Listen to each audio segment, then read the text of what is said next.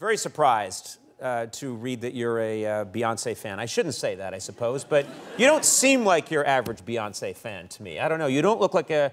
I don't know. I'm getting a country western vibe from you. Is that is that wrong? Uh, Conway Twitty, you know, uh, Kay Kyser and his band of renown. I don't know. Uh, you, you I'm, I'm, just not getting. It. It's a very really uh, is that you listen to Beyonce? Yeah, I do. I listen to a bunch of music, mostly because I have five children who have an eclectic music interest. Right. And so they, I know Beyonce's work. I listened to all of Lemonade, and it came. It, it, actually came in handy one day. I'm sitting. I'm FBI director. I'm getting briefed on a counterintelligence case, and they always have code names. And so the counterintelligence leader said, "Sir, this is code name Sandcastles," and I said, "Like the Beyonce song." And, and I'm looking at a room full of 20 FBI leaders, and they're all looking at me like, "What?" and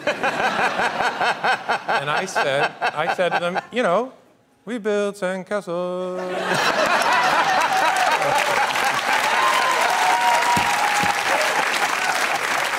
True story. talk about the worst show on television. There was dead silence because yeah. they all thought I'd lost my mind. I went home and told my kids that. They said, "Yeah, Dad, they're not as cool as they need to be." so that's a fantastic story. I yeah. love, I love that. I love that you're educating everybody that works in government.